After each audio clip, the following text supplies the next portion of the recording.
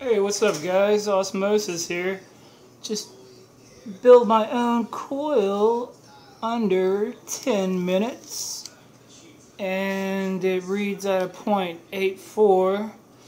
I tried to do a dual coil build, but uh, I cut the wrong wire. So don't ever do that. But check out the cloud. Woo!